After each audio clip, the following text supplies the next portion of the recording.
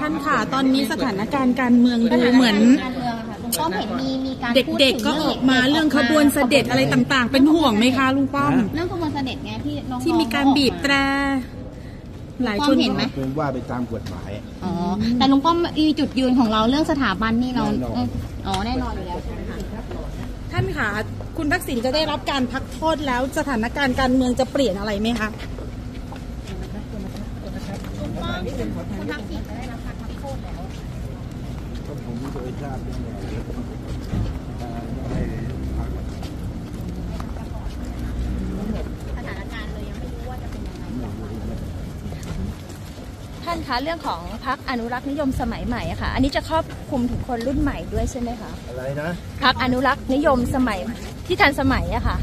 จะครอบคลุมถึงเด็กรุ่นใหม่ด้วยใช่ไหมคะ เราจะมีการเปิดตัวรุ่นใหม่ด้วยใช่ไหมคะ ก็คอยฟังมันก็ฟังต่อไป การปรับโฉมรอบนี้ของเราเนี่ยเราตั้งใจว่าจะเหมือนวางแผนในการเลือกตั้งในรอบหน้าใช่ไหมคะ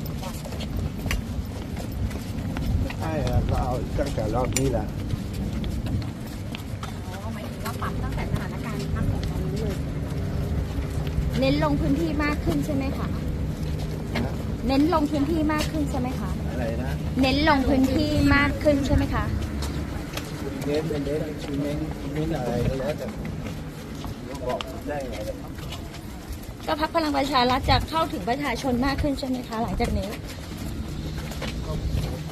พรรคพลังประชารัฐเขาพยายามเข้าไปหาประชาชน